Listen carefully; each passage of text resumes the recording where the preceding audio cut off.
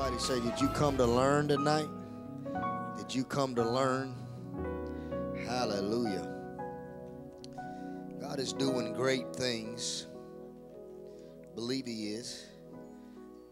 Bishop, I don't know, is He? Yeah, He's doing great things, trust me.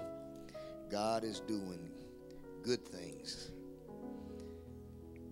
If you weren't on the conference call today, you want to write down this number and make sure you get on this and hear the replay.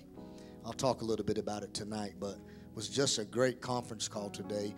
Every Wednesday at 12, you can listen live as we teach the Word of God. Uh, 30 minute leadership. And just let you know, it doesn't mean you have to be in leadership. We have sh- uh, lay people that are on there, doctors are on there. Ohio, we had people calling in. Ohio was in on the phone today. We had Newburgh, New York on the phone. Brooklyn was on the phone today. We have so many people around the world that are connected to this house and this ministry. We're international, and you have no idea how much God is going to send a harvest back to you for all the people we're reaching around the world. Amen. Hallelujah. I want to tell you about a book If you haven't read it, it's called I Am Faithful. It's a revised and updated book that I haven't had out in a long time. It's been kind of sitting up in hiatus, and I pulled it out a while ago and began to rewrite it and redo it. And it really deals with the faithfulness of God, and that no matter where you are, what you're going through, that God will be faithful. How many of you know we need a faithful God right now in our lives? And so uh, you need to go out and get it. Also, I got some more, more of my t-shirts in. How many like my t-shirt? Favor. Walk in it. I'm going to walk in some favor. You wear this shirt, you're going to walk in favor because it says it right here. Everywhere you go, it's going to say favor. Ten dollars. Uh, is it ten? What's we selling for? Twelve, ten? What are we selling for? Twelve out of town. What are you saying? Ten in town? Twelve out of town? okay. I'll let you have it for ten tonight. But if you pay twelve, you're not getting a refund. Now we take it as a seed in Jesus' name. Hallelujah. Who was on the call today? What a good call today. You know, I, I, I talked to you Sunday out of Jeremiah 17, where God said, I search the heart, but I test the mind. I search the heart, but I test the mind. I want to talk to you some more about your mind because I think some of the things that we're fighting is not a devil, it's a personality. It's something in your brain that we've got to conquer. Amen?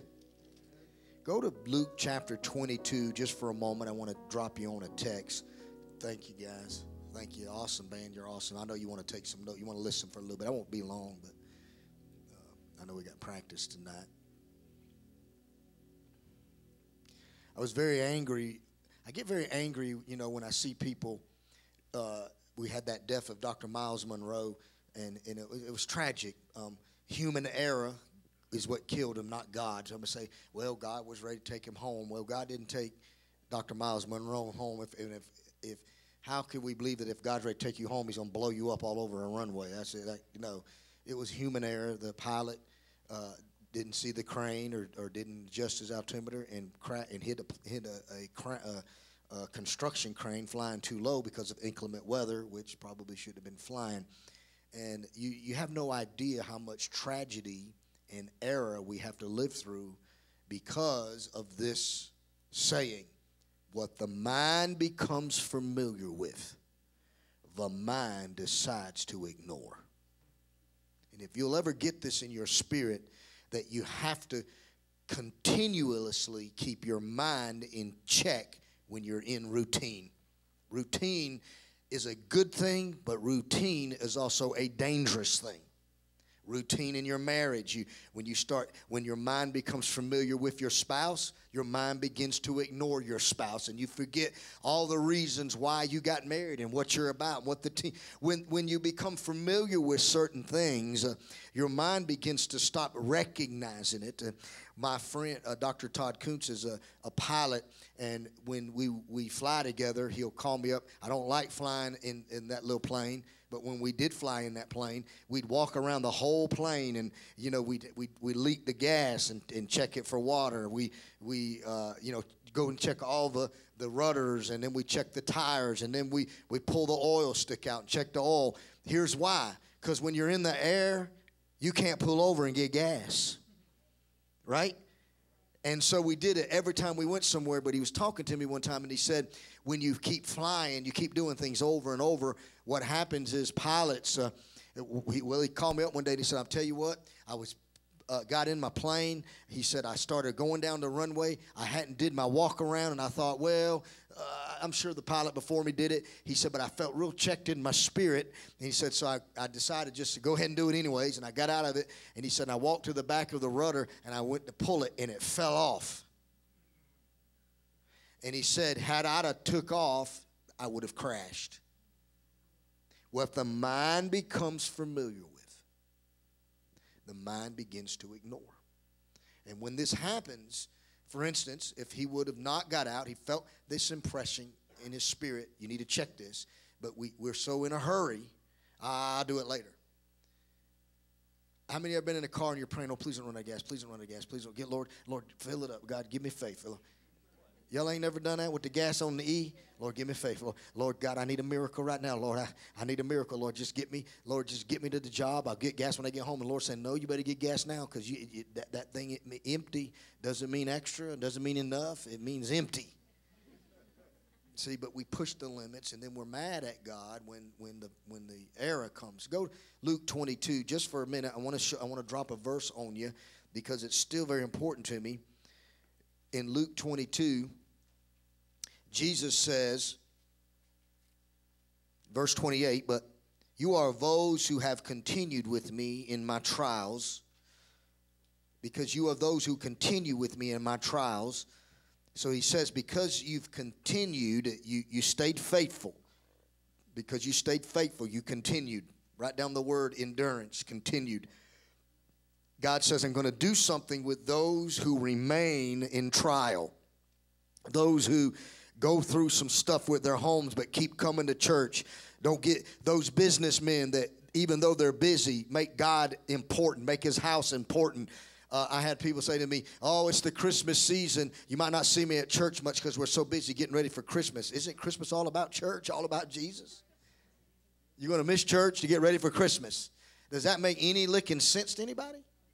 That's religious, isn't it? So he said those they continued, they kept doing it. It's uncomfortable. It's in the trial. He gives them verse 29. See, I and I bestow upon you a kingdom just as my father bestowed one upon me. Now, this word bestowed is very important word and I can't get you to your brain if I don't get you to understand what God's trying to do with you okay? And what God's trying to do you, with you is this bestowed in the Greek. In the Greek, this word is channeled. So he said this He said, Because you continued with me, because you're, you've proven yourself through my trials, you're still here, you're still doing what I've asked you to do, I'm going to do something and let you know what we're doing here. And what the kingdom is doing is making you a channel where God can work kingdom through you. And now we got to qualify just because you come to church doesn't mean you qualify for this bestowed a bestowed anointing. You got to you got to continue. You got to overcome things. You got to walk in love. You can't let uh, somebody's infractions bring you out of your walk with God. As you continue in your trials, he said, "I'm going to bestow upon you the kingdom." Channel. Look at somebody say he's going to channel the kingdom. So he's going to channel it. So this this what you have to understand is this word channel because there was a time before Christ when heaven's resources, heaven's power, heaven's, uh, heaven's uh, healing was all off limits to humans. When man fell in the garden, heaven became blocked to man. And that's why hell was running havoc on the earth and people were becoming demon possessed. And you don't see a lot of demon possession right now like you did back in Jesus' day because there was no restraint on the enemy. Now we have a restraint. Why? Because the kingdom is not in heaven, the kingdom's being channeled through us. So it's very important that we take this very, very serious because the more we realize that Jesus is channeling his kingdom through us, the more we're going to line up to his will and his word. All right? Now, Matthew 25 is the kicker. Because I was up this morning reading Matthew 25. And this channel thing got through me. And, and God said, if I'm going to use you, and I'm going to I'm going to use a word here, and I'm not trying to be disrespectful, but if I'm going to use you as a medium, where I a medium where I use you to speak for me, I use you to talk for me. Think about that privilege for a moment that God is using you as his witness on the earth. He didn't come, he's staying there using, he's using you as a witness on the earth. And you have to ask yourself, what kind of witness have I represented of him? I'm letting you talk for me. What kind of words have come out your mouth? I'm letting you help me influence others of my kingdom. You're my medium, okay? So, if we don't heal our brains, we're not going to stop our mouths, our actions, our feelings, and our attitudes. So, Matthew 25, Jesus starts really teaching his disciples and he's talking to them. And he gets into verse 14 and he starts going for the kingdom of heaven is like in a man traveling in a far country. So he starts dropping the, the kingdom bomb on, on them and what's going on. And he gets to 29, uh, verse, uh, uh, Matthew 25, 29, and man, it just it throws a ratchet in understanding. I want to start up. We'll start up. Uh, at, at, well, at, four, at 14, he talks about the seed doll, but, but we'll get to 27. And so you ought to have deposited, it gets to the talents. I'm trying to get you there without spending hours reading the scriptures, but he, he starts talking about the kingdom of heaven is like this, and he talks about how many of you know about the talents? You know I'm talking about one talent? Well, some of you don't, I guess, because you didn't raise your hand. So let me just read it to you. So he received the five. So he said, For the kingdom of heaven is like a man traveling to a far country who called his own servants and delivered his goods to them. And to one he gave five talents, to another two, and to another one. He gave them money. Talents was money. It's not gifts, it's money. To each according to his own ability. Notice that he gives you the quantity of production by your ability. He gave one one, one two, one five, according to your ability. Okay? And immediately he went on a journey. Then he who had received the five talents went and traded with them, and he made another five talents. And likewise, he had received two gained uh, two more. So the five gained five, and the two gained two. But he who had received the one talent went and dug it in the ground and hid it, hid his Lord's money. After a long time, the Lord, uh, those servant of the servants, came and settled accounts with them. This is all talking prophetically because there's coming a day where God's going to settle the accounts of the things He gave you. Okay? So you're not going to get off the hook. You don't like God's going to settle these accounts. So he comes and he settles accounts. So he he who had the five talents, he came and he brought five other talents, saying, Lord, you delivered to me five talents. Look, I've gained five more talents. I increased myself besides them. His Lord said to him, Well done, thy good and faithful servant. You are faithful over a few things. I will make you a ruler over many things. Enter into the joy of the Lord. Notice the joy of the Lord is the reward. He also had received the, the, two talents, came to him and said, Lord, you delivered me into two talents. Look, I have gained two more talents besides them. His Lord said to him, Well done, thy good and faithful servant. You have been faithful over a few things. I will make you ruler over many things. Enter into the joy of the Lord. They both get the same reward, okay, for increase. Then he had received the one talent, came and he said, Lord, I knew you to be a hard man, reaping where you have not sown and gathering where you have not scattered seed. He's bragging on them. So he's, he's, trying to make him feel good. And I was afraid, and I went and I hid your talent, your money in the ground. Look, there you have what is yours. So he said, Look, I didn't do anything with it, but I didn't lose it. He said, Here, I give it back to you. It's yours. Now, here's where Jesus gets harsh because he's teaching them a parable. But his Lord answered and said to him, You wicked and lazy servant. You knew that I reap where I have not sown, and I gather where I have not scattered seed. So you ought to have deposited my money with a banker, and at my coming I would have received back my own with at least interest. Now, here's the kingdom. Jesus says, here's what the master did. Therefore, take the money from him, take what I gave him, take it from him right now, and give it to him who has 10. Now that's completely contrary to what your what church is all about in America and everything that we ought to be comforting everybody. Here's what Jesus said: because this man failed to increase himself, God called him wicked. And said, Take from him what I gave him. And give it to the guy who can bring the most increase to it. Give it to the 10, the guy that has 10 talents. And then he hits them with this verse that nobody has an understanding over. For to everyone who has, more will be given. And he, eh, okay, and he will have what? Okay, but, here's the but. But from him who does not have, even what he has will be what? Well, wait a minute. How can you take away something from someone who has not? Because the scripture says, what even what he has, but it says right before that, who does not have. Then it says to the guy in the front of it, everyone who has, more will be given. And he will have what?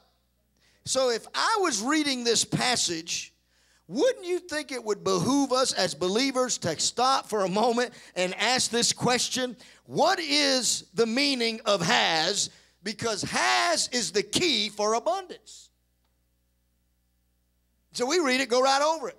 But something is being said here that was getting my mind whirling today. I begin to ask the Holy Spirit, then what is in the meaning of has because there's something they have that's creating more. And there's another group of people who don't have it and it's causing them to be have less. And so me asking these questions it creates in me the answer. So I start studying. I, I want to bring this up on the message Bible before I give you a few more minutes of this teaching. I want you to read this passage. Is, are we able to bring up the Message Bible? Uh, the Message Bible kind of whoops our rear end. Take the thousand and give it to the one who risks the most and get rid of this play it safe who won't go out on a limb and throw him out into the utter darkness. That's what God said to that man. He said, Take the thousand and give it to the one who risked the most and get rid of this. It sounds very unchristlike, don't it? But Christ is telling the story, so don't get mad, okay? This play it safe who won't go out on a limb and throw him out. He said, throw him out, get rid of him. Do you know how many people in church right now God would probably throw out? But verse 29, listen to this.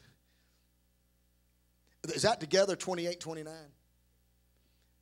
So when he finally arrives, okay, 28 and 29. I forget how the Message Bible does it. doesn't really break it. It takes it into content. But I, I, I really, I really want you to understand this.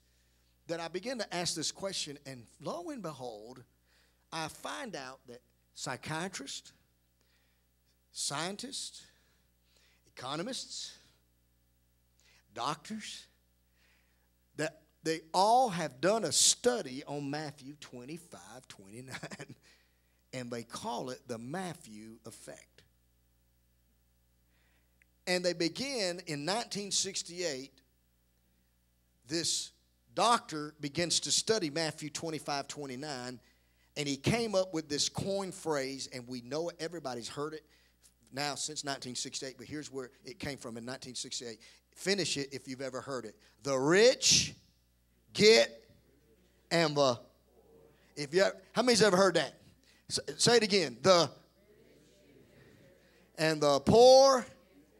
So with that statement, he brought it out of Matthew 25, 29, and he's, he came to the study that it's not that the poor don't have the ability to be rich, but there's something that happens in the rich that's not happening in the poor. And it's something in the ability that what they have, they recognize and grow. Okay, I, know I know it's thick, but stay with me. Many live life, many are living life to exist. And few are living life to excel. Because the difference between an existing life and an excelling life is effort. It's willingness to change. And it has nothing to do about prayer. Though prayer will help, if you don't recognize where your brain is off, prayer ain't going to help you. Because you got to get your mind back in an understanding that something in me has decided to exist where I ought to be excelling. So they did a study. They, they started doing a study about this Matthew effect. He who has gets more, he who has not, what he has is taken from him. And it's all, and so they started looking at athletes because they said, well, let's look at a study group. So they started looking at a study group and they said, well, let's look at athletes because at the, the MLB or the NFL, they all got money. They all, they all come in with about the same talent. They got, I mean, I mean, sure, some are better than others, but by far, if you're, if you're a, a, a first stringer in the NFL, you, you've out, you've played through college and you're big division, big D1, and you pretty much become the cream of the what? Okay, so they said, let's do a study on this, this, this group of athletes uh, and let's monitor them because they found out that some had long careers, but most of them only played about four or five years. However, they all had talent, they all had ability. There was something in the brain of the few uh, that gave them longevity of wealth uh, that wasn't in the brain of the many that they only got just there and quit. And they all lost everything they had and found out they were flipping hamburgers and, and yet they had me. So here's the kicker the answer to your problem is not more money because they had the money and lost it. Listen to this people that win the lottery did you know that most of the people that win the lottery, the, I'm talking about them $100 million winners, uh, within 10 years have lost it all and are worse off financially than they were before they won the lottery? So money's not the answer because they got $100 million. If they don't get something in their brain adjusted, they can't hold on to it, it, the scripture, the, the Matthew effect takes place. Even though he has, even what he has is taken away. For instance, they, they found out, let, let, me, let me read something to you when I, when I was looking at this, because I'm trying to get an answer about, uh, uh even like with my children, I'm, I'm seeking truth for where my, my children are in their lives and why, why, why are they not better off or, or, or think different. So their lives causing me to look deeper inside the Word of God to get answers on why they can't get out. Because it doesn't matter if I'm out. It doesn't matter if I pray for you in this altar. It doesn't matter if I take you and counsel you for hours. If you don't turn that thing on in your brain, you're going to keep sleeping around. It doesn't matter if you come up here and cry. You're going to go right back over there with your baby daddy or baby mommy, whatever you call them people. You'll be right back over in the apartment, right back on the couch. You'll be right back in the premarital sex. Why? Because you haven't turned something on here. I'm, I'm trying to help you. Well, well, I just need deliverance. You don't need deliverance. You need to wake up your brain. Okay? Well, I'm just angry over it. Well, I can't help you. Listen, because most people are driven by purpose, few let purpose drive them. Most people are driven by a problem. Few people let their gifting and their assignment be the force of their decision. it goes back to that same two words. Most people are conditional, few people are positional. It's a powerful teaching because if I can ever get you to stop having a conditional freedom that you're only free when you feel free, you only love when you feel love, you only have faith when you feel faith, you're only a conqueror when you feel like a conqueror, then you're going to be in that group of people that are always at the back end of the prayer line or always in the prayer line because you can't get the victory over your life. Because days sometimes just go bad. And just because the condition's bad, don't mean your mind has to go with it. Oh, hallelujah. Get a hold of your brain. Look at somebody say, get that stinking thinking out. That's what I'm trying to tell you.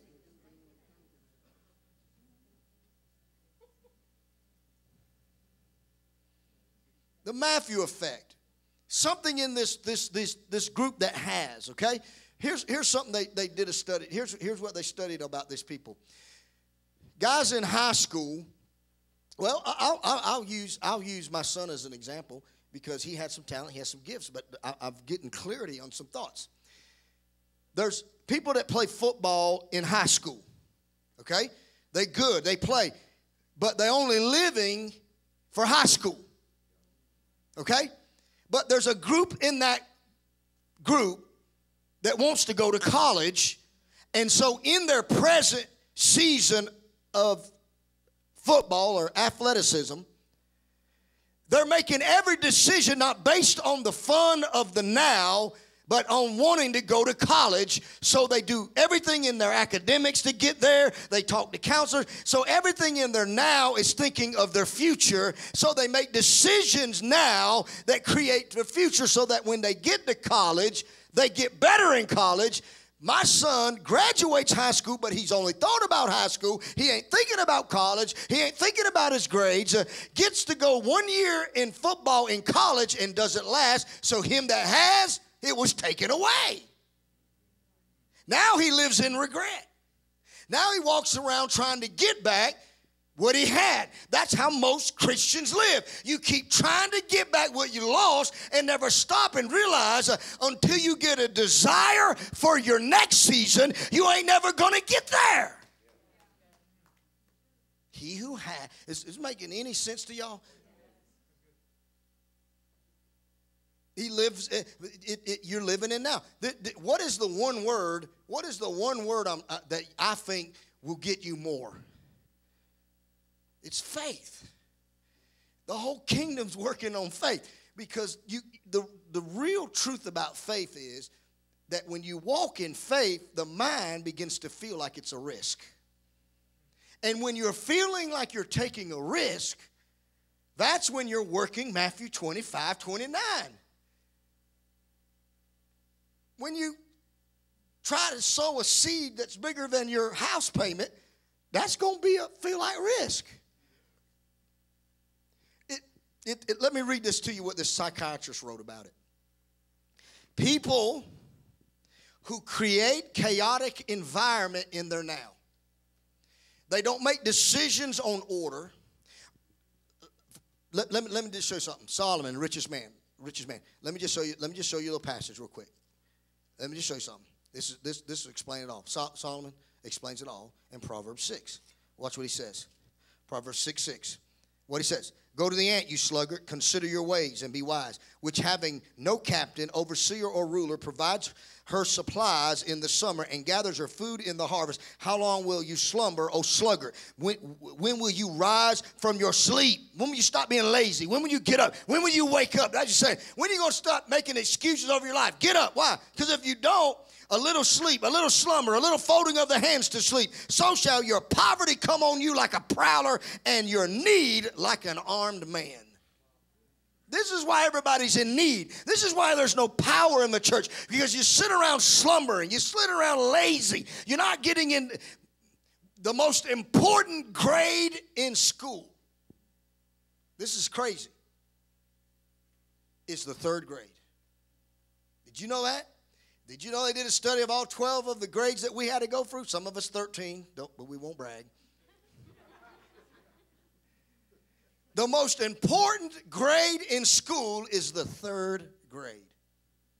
Doing this study, that because of this study, some states have put a qualification at the third grade and won't let you pass it until you figure out this one thing. Here's what they said up to the third grade, people are learning how to read.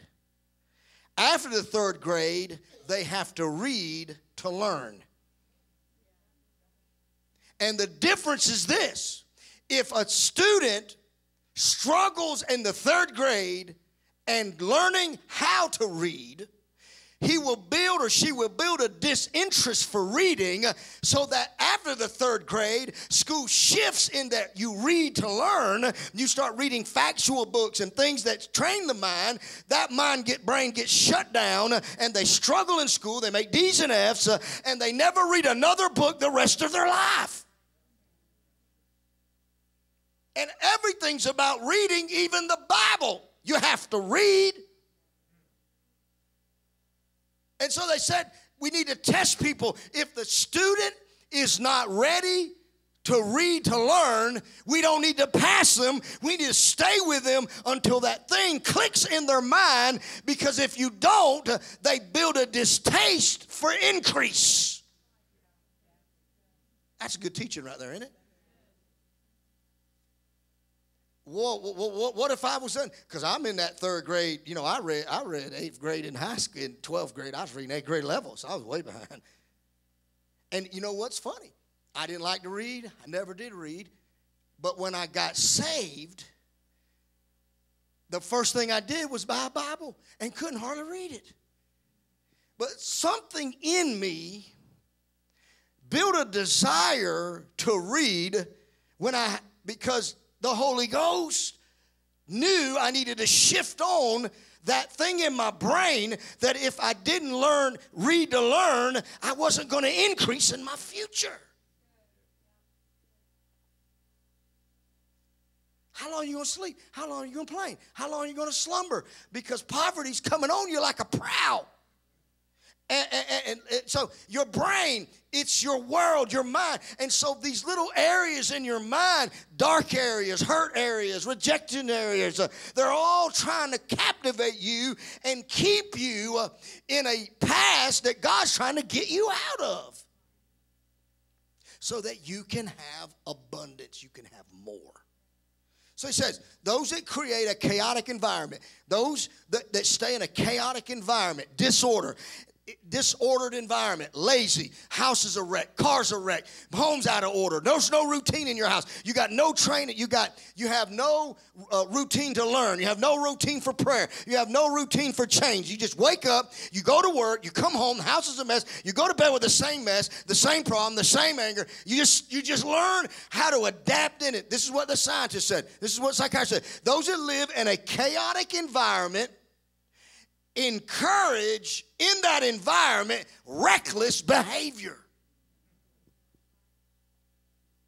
You will birth this. If you're a father or mother watching me right now, you need to go home and take chaos out of your house because you're creating in your children reckless behavior.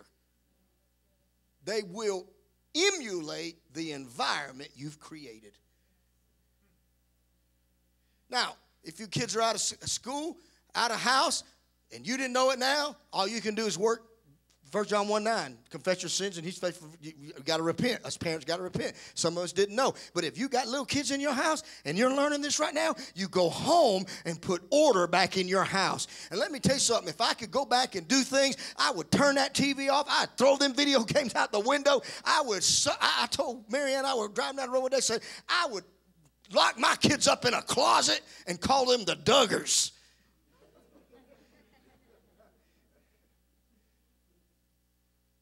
Because what's killing our kids uh, is we're making them grow up too fast. We're giving them information their mind hadn't been able to process. And it ain't the devil, it's us letting them do it. You're with me. You're not mad at me, are you? You're awful quiet. If you create a chaotic environment, this is why God is a God of order. This is why you got to put order. You got to put order back in your anger. You don't have a right to flesh out on somebody just because they didn't do what you thought they ought to do. That's chaotic environment. You're creating. You can't take your children and become submissive in discipline. I don't care what kind of children you have. Well, my child's uh, specially gifted. They're, he's not very smart. Doesn't matter. If you if you if you cater to their weakness, you'll strengthen their weakness. You see these kids with no feet, no arms, and they're doing things, and they have great self image and great identity, but they don't have what all the other kids have because parents put the law down in the house. You're not going to make having no arms an excuse. You're not going to make having a sickness an excuse because you got to live out there when I ain't here. You see? You see what I'm saying? Well, that's just hard. Well, it's called tough love. Say, no, saying no is tough love. That's why God says no when He wants to say yes. It's tough love. It's hard. It's hard. Not lie to you. It's hard to tell your kids no. It's hard. Because the parent's heart is to always want to protect and guard but we're, we're doing an injustice to the next generation because we're not training them on how to discover what they have because God didn't say the one talent, the five, two talent, the five talent, they weren't all at the ability of increase, so He gave them the load in which He knew their ability could handle. He wasn't expecting the one talent to even have two talents. He wasn't expecting that. He said, You could have put it in the bank and brought me a half a percent more than I gave you, and you'd have got the same heavenly reward as these, th- these other two. But you became lazy, you became uh, afraid. He said, And you, you became sluggish. And in my opinion, he said, You are useless to the kingdom. And I don't know about you, but I don't want to get to the end of all this thing, and at the end, and find out that the church God is not the God that, that, that everybody wants us to have, that He's going to be all, everything's going to be okay no matter what you did hunky dory. We get there and say, No, you're useless. Get out of here. I told you a hundred times. You didn't want to hear it. You wanted to be comforted. And now it's over. Depart from me. He said, Yeah, but Lord, I cast out demons in your name. Lord, I knew. He said, Yeah, but I don't know you. And I didn't understand that until I was studying this because he said, Many will come to me in that day and say, Lord, Lord, I did miracles for you. I did feats for you. I went to church for you. I taught Sunday school for you. I ran these cameras for you. I did the sound for you, Lord. I was in ministry for you. And he says, Yeah, but I don't know you. You knew me, but I didn't, I don't know you. And here's what I realized. What he was saying was, Yeah, you got involved, but you never opened up your mind where I could channel myself through you. And so you got into me, but I never got back into you. Because we had no intimacy, we didn't grow. Show me what you and I produced. And I'm sorry, I, I'm going to tell you something right now. But, but if, if right now Jesus came on this pulpit and said, point out five people in 12 months that you brought here on your own witness and you begin to disciple, give me five names of somebody you're discipling right now. Give me two names. Give me one name of a person that you're talking to about the kingdom to get them into kingdom that you're going to bring to church and train them, not waiting for me to do it or my cameras that we pay for or the TV that I went and did with Babbie Mason or the books I write or no, because I'm going to get there and say, here's all these people and here's my names and here's and you're going to have to count to yours. And if you think about it, we're so existing, we're not excelling. Now, I'm not getting on to you. Don't walk out here and feel like 100 pounds of sin on a popsicle stick. I'm telling you, just to, this what that's what Solomon says. How long are you going to sit there and slumber? How long are you going to sit there and make excuses? Excuses are bridges to failure. That's all they are. How long are you going to keep blaming the clock? I just don't have enough time. You schedule time. Time doesn't schedule you. How long? How many times are you going to keep saying, I don't have time to read the Bible? Make time. I read it. I sit in my office and watch, listen to psychiatrists talk the most boringest stuff. I was in there talking, listening to a guy talk about uh, scanning brains and learning how to understand brain failure. It was the most boringest teaching I've ever sat in. I think I woke up at the end of it. I let it subconsciously feed me somewhere in that thing. People say, I don't have enough money. What are you doing about it? That's, that's, that's, that should be the next thing that this church needs to shift to. When somebody comes to the altar and says, Y'all pray for my finances, what are you doing about it? What are you doing about not having enough money? Well, I work 20 hours a week. You think 20 hours a week is enough hours to make money? The, the, the, only answer for money is work. You do know that, right? If, if prayer was the answer for money, I'd be a millionaire. Because I'm always praying for money.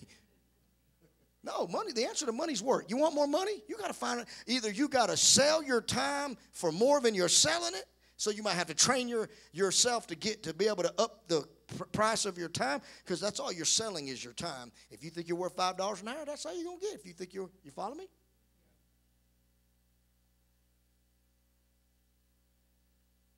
It's like that boy went out, went around, was cutting grass, and he goes to his neighbor, and knocks on the door, and says, "Listen, I, I want to cut your grass." He said, "How much?" He said, "Whatever you want to give me." He said, "Okay." He said, goes to the next house. Next house, we goes to this millionaire's house, big house. He knocks on the door. Guy's richer than everybody in the whole neighborhood. And he says, "Listen, I want to cut your grass." He says, "Okay." So I got a pretty big yard. How much? He said, "Well, whatever you want to give me." He said, "Well, what's so and so giving you across the street?" He said, Well, he's giving me $3. He said, All right, I'll give you two.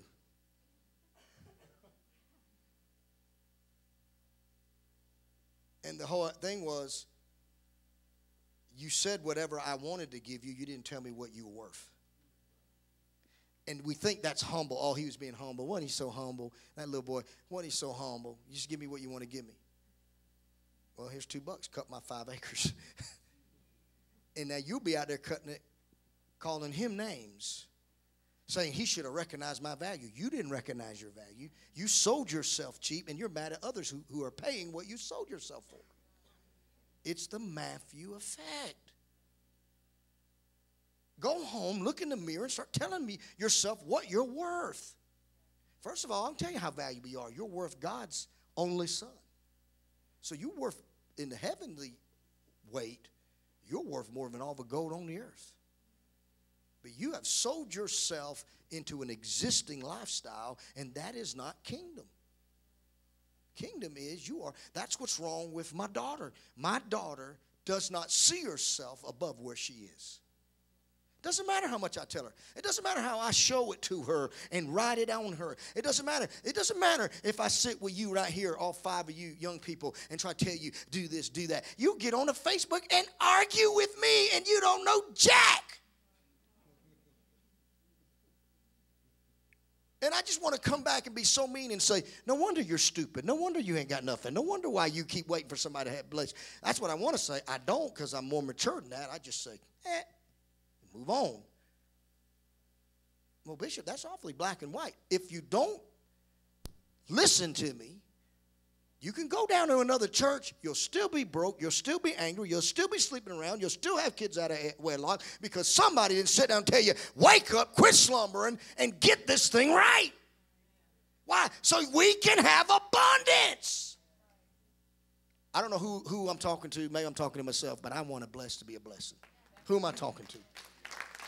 I, I don't want to creep. I, I, listen, I don't know about you, but I'm tired of swimming in quicksand and, and telling everybody I'm going somewhere. I don't want to be the guy that gets out of quicksand and that's the only testimony I have. Thank God I didn't die in quicksand. I want to stop falling in the pit. I want to change. I want to grow. I want to sow. I want to do. I told God, I don't care. If you want me to sow a hundred, I'll sow a hundred, hundred thousand. If I have it, I'll sow it. Why? Because I've got to somewhere risk it all and either believe you are who you say you are or you're not. And if you're not who you say you are, I need to find out now. Before I get to heaven and find out all it's a lie. It's one little shack up there and we're all living on food stamps.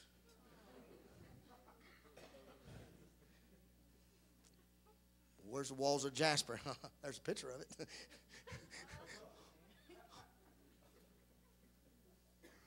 Either we start believing this book and take it literally, or we're all going to fail in the end. This is not allegorical. This is not an opinion. It's not like, well, you, you have your opinion, I have my opinion. This is the Word of God. Matthew 25, 29 is written there for a reason. He who had, the kingdom is like this, guys. He who has, more will be given. He who has not, even what he has, will be taken away and given to them that have. So in 1968, they came up with this slogan the rich get richer and the poor get poorer. And here's what they find out it's not that the rich don't have something different than the poor, it's that the rich always think about tomorrow and the poor only live for today. That's the ant. Look at the ant. He gathers in summer, preparing for winter. You know why people are in debt? They can't tell their wants no. If the bank shut down tonight, if you went home tonight and the grid went off, I ain't talking about some Al Qaeda terrorist blew something up. I'm talking about a computer fried, a bug, Everything right now is run on computers. You know that, right? And the banks shut down tomorrow and the ATMs close. And how much cash would you have on you? How much cash could you live on right now in your hands? How much you have in your house? How you gonna get water? How you? Because if the grid goes off, your water quits running, your toilet quits running, your refrigerator, the food sours. How much food do you have? See, that's that's how you have to see where you're at. What are you preparing for?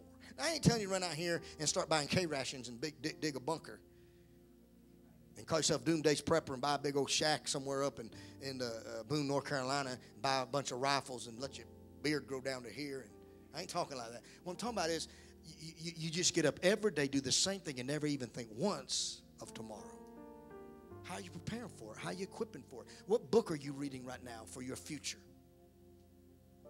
Somebody got relationship problems. Are you studying about relationships? Well, no, I just got relationship problems. How are you gonna fix them? No, you'll do is you'll break up with that guy and date somebody just like him, and be up here going, "I have relational problems." Is it the same relational problems you have with that guy and that guy and that guy? Yeah. Well, then if if if if if Susie has a problem with Jim, and then Susie has a problem with Joe, and Susie has a problem with Michael, and Susie has a problem with Jim, who's the problem? Susie. But she keeps thinking they're all the problem. And then when somebody tries to say, Susie, sit down and talk to you for a moment, baby. What? You the problem. That offends me. Well, I wasn't trying to offend you, but truth always exposes the lie. Okay, I just let me break it down to you. You're just living in stupid, and I got to help you. You're dating the same guys just with different names. Well, that makes me mad. I'm going to another church. I just don't like the way you talk to me. Okay, bye. Because we're not going we're not going to handcuff you to the seat, try to beat truth into you. Okay, see you. Have fun. I can't tell you uh, out of a hundreds that have left my church, I can't tell you that, that this is the truth. Probably 90% of them went to a worser season after leaving me. Because the one thing I pride myself on is telling the truth and being doctrinally sound. I ain't the smartest cookie in a jar but I'm smarter than most people in the church about the Word of God. I ain't smarter about more than business people, but I can take the Bible and show you how to build your business, fix your marriage. I don't have a problem talking about the, the things in your head. You're not going to offend me. Your sinful lives and anything you bring up in your past doesn't make me and Pastor don't fall on the floor and go, oh my God, you're a reprobate. You can tell us anything. You won't get people who have been in our offices can't believe how we don't fall apart over your falling apart. But we'll tell you the truth. Okay, let's fix it. What do you want to do about it? How you want to fix it? What you willing to do? You want to do that? Well, it ain't going to change. Then you're going to live in the Matthew effect. What you have, even what you have, is going to be taken away from you and given to them to have. And the rich get richer, and the poor stay poor. Now, I believe everybody here needs to shift and begin to be the ones that increase their talents. Their, eh, not just their money, their talents, their giftings. Get involved, make some effort, and grow your mind. Right? Get through your wounds. If you got some wounds, talk to somebody.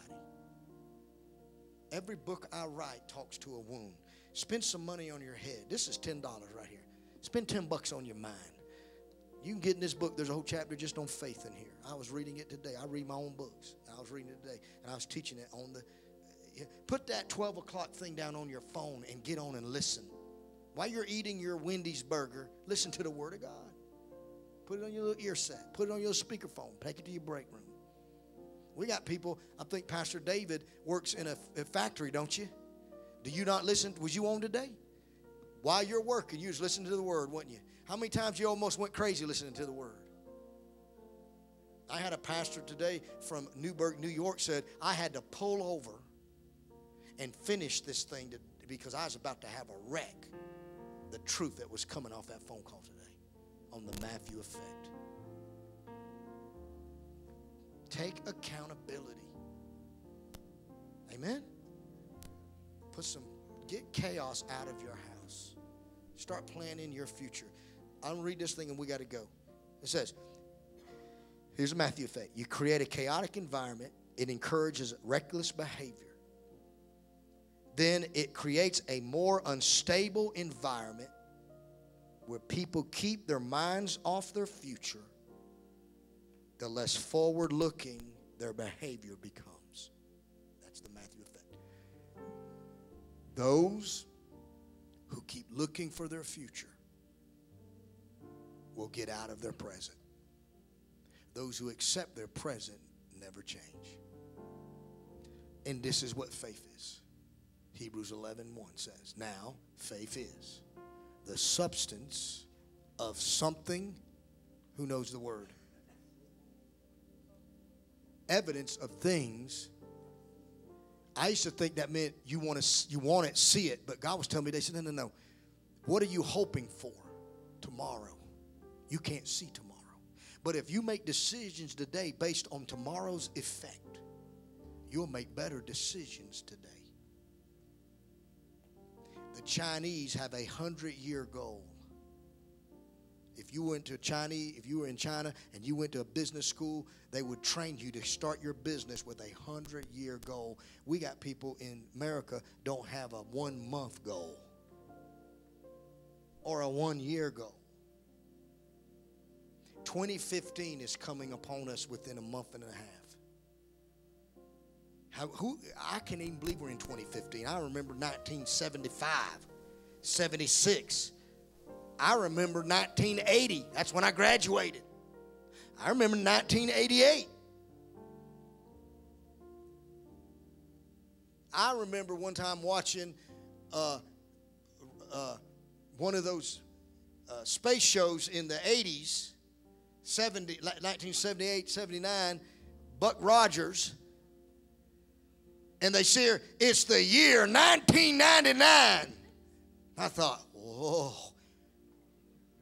Oh, Jesus probably come for 1999. Had to be right before the year. And then it come 1999, and everybody's talking about Y2K. Y2K. We're going to blow up. We're going to evaporate. 2000. None of the computer. How many of you remember that? Well, buddy, you're in 2014. And in a month and a half, clock goes click, and guess what it'll be? Okay, so has anybody here or watching has been able to stop the clock for a while? So 2015 is coming. That means you're going to be older. Not me, I, I'm looking younger. I don't know what's wrong with y'all. no, I'm just kidding. Why don't you sit this year, this month and a half, in 2014. Why don't you pray? Why don't you get a pad out? Why don't you get a journal? If you don't want one, buy one of mine. And why don't you, but that before 2015, you write down some goals. Write down, number one, write down what kind of financial goal you want to finish in 2015. What kind of money you want to make. What kind of money you want. What books are you. Write down what, what kind of relationships do you want around you. What kind of thinking do you want to have in 2015? Write down some goals. Amen. Well, I don't know if to, to give an altar call or tell you I'm sorry. It's it's just saddens me. It saddens me when I see ability like my son and, I, and him crying last night about finances to me. And, and I'm, I'm financially able to completely eradicate his financial problem. I mean, I could I could sit down right now and hand him a wad of cash and solve every financial problem he has, but it wouldn't solve it. Because as long as he creates, keeps a chaotic environment, I can't pay your way out of it. If he don't go home and put order in his house and subdue it, he'll never have biblical dominion over it and nor will you. Go home and run that chaotic demon out of your house. Okay? Now, you might have to go home and clean your closet just to get started, just to feel good about it. Make some routine. Get up, make your bed every day for a month. See how you feel.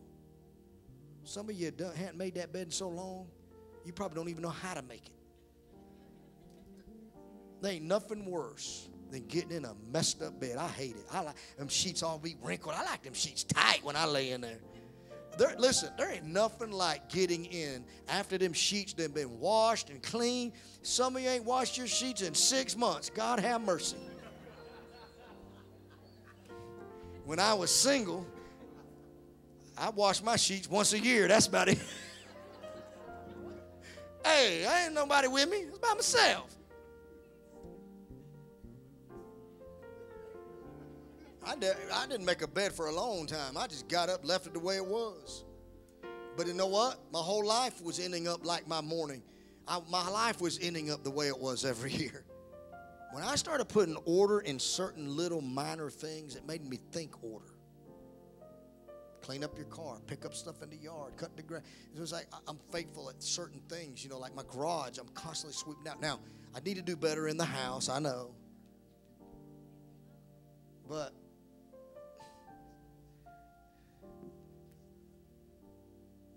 it's like double stuffed Oreo cookies have become a, like kryptonite to me for some reason. I don't know what's wrong with it. I never had double stuffed. Did y'all know these existed? My son indoctrinated me with gospel truth because we were sitting there, Manny, and I would take the top off the Oreo cookie. You ever done that? And I'd take a top off another one and put two of the white ones, two of the whites together and make me a two two double the white with the cookie. My son said, "You know, they make them like that." And I looked at him and said, "What you talking about, Willis?" He said, "Somebody already thought of that." Because I said, "I got an idea, Jerry. We ought to find a way to double stuff." said, "Dad, they make triple stuff called mega stuff." I said, "I got to have them, man. Not megas, a thousand times more." And we ran out the other day, and I bought me another pack. But I do discipline. I eat one, I'll eat two, and I put that sucker up. And it be calling me all night. 3 a.m. last night, I woke up and I heard it saying, I'm in here. I'm Milk's favorite cookie. You want some milk? And I had to rebuke it. Shut up, devil. Demon of fatness, get off of me right now. I was supposed to run in there and eat it. It was torment. I went back into the bed, laid there, and thought about it. I said, Are you kidding me? I'm and then someone said, Maybe you ought to throw them away. I said, The devil is a lie. I'm getting victory over this thing right now in the name of Jesus. Not throwing away them double stuffed cookies. Cost $3.69. No, I'm going to get a hold of this discipline. See, everything's predicated on your what you're willing to control your thought life over. You think I would wake up be thinking of the end of the world or a new message? I, I ain't even thinking about the Word of God. I, I woke up thinking about double stuffed Oreo cookies because I just bought a brand new pack, freshly sealed pack. That is a new invention. Don't you love that new invention? Seal it right back. You used to have to roll it up, clip it, and just it's sealed. Wish I'd have thought of that. I'd be a millionaire. If you want more, than change what you're doing right now. Father, we love you. I could talk all night. And Lord, I, I, if I didn't teach it fully the way you wanted me to, keep training me, I'll keep teaching it. But I want people to do better. And I don't want them to do better because we're beating them into doing better. God, I want people to do better because they desire to be better, want more, do more, have more. I don't care how anybody was raised in this church or watching by way of this internet. You can decide in your mind right now to be better. You don't have to do what daddy did. You can be better. How many believe God can do that right now? Say, I believe it right now. Amen. Look, let's sow our seed. Let's sow our seed. Let me tell you of a seed amount that I just learned about and I sowed it. Luke 252 seed. Never heard of it. Have you ever heard anybody talk about a Luke 252 seed? Do you know what Luke 2:52 says? Jesus grew in wisdom and stature and in favor with God and with man. A pastor friend of mine said that he was taken up, that God told him to sow a $252 Luke 52, 252 seed. Believe in God to walk in favor, in stature, and in wisdom, not with just God, but with men. I said, I got to sow that. Nobody's ever said that seed to me, $252. So I sowed it.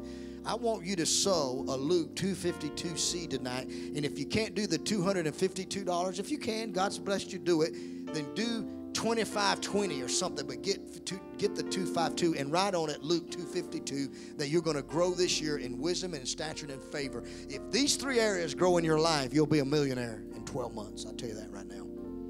Jesus grew, Jesus had to grow in it, that means you got to grow in it. Okay? I sowed it and, and activated it in my seed. You sow it and activate it in yours. Because I always share what I'm doing so to help you. I'm going to sow one tonight, I believe.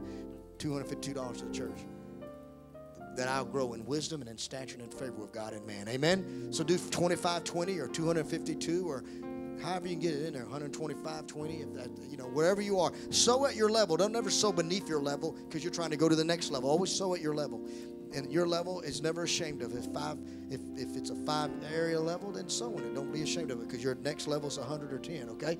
Hold up your seed. Let's pray over it. Right into the favor center. Father according to the word of god you'll give us the treasures of darkness hidden riches of secret places that we might prove that the lord is our god Lord, you said in Psalms 112 there will be wealth and riches in our house. We sow seeds as an investment into the kingdom.